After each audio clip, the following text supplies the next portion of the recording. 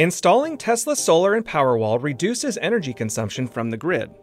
The Tesla app shows your financial benefit from solar with the Solar Value Impact Card, and from solar and Powerwall combined with the Energy Value Impact Card. With these cards, you can view the amount of value, or avoided cost of energy, generated on a single day, week, month, year, or the lifetime of the system, and you can customize the value calculation to be specific to the cost of energy in your area.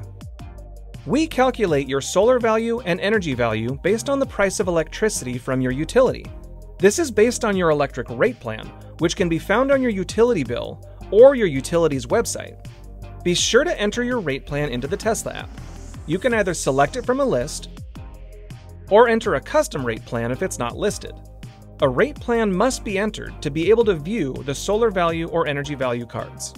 Solar value, for customers with solar only, represents an estimate of the value generated from your solar installation.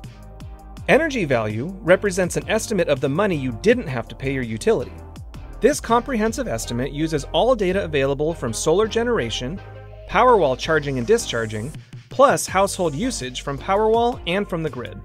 If you have time-based control activated, the energy value estimation also accounts for the value that your power Powerwall earned by storing excess solar energy produced during off-peak hours and using it during the most expensive hours of the day, also known as load shifting.